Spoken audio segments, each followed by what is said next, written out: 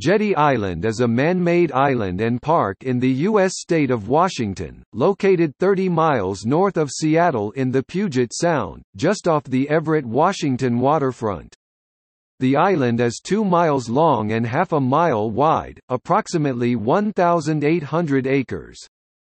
The island has no plumbing, electricity or structures, only a seasonal floating restroom off the island's shore. During the summer months, a small ferry becomes operational, allowing access to and from the island.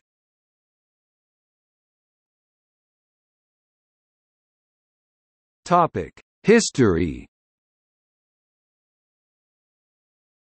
Jetty Island began as a riprap jetty to provide a navigation channel and protected harbour in the late 19th century.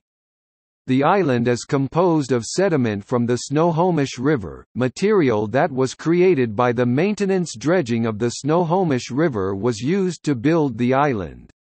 The original dredged material was deposited over a 100 years ago and has been added to over time. The Port of Everett gained ownership of Jetty Island in 1929 and, with the help of the U.S. Army Corps of Engineers, built a new marsh of dredged river materials in 1989.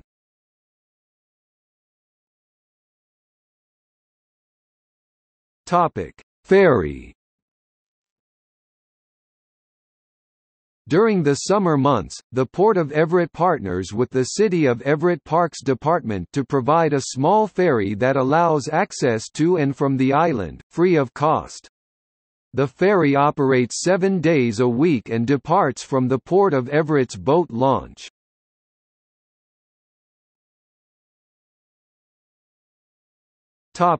Wildlife Jetty Island is home to more than 45 bird species including osprey, shorebirds, hawks, eagles, cormorants and ducks. Visitors may see seals surfacing near the water's edge or lounging on the island's shore. On occasion, gray whales can be seen swimming past during spring migration.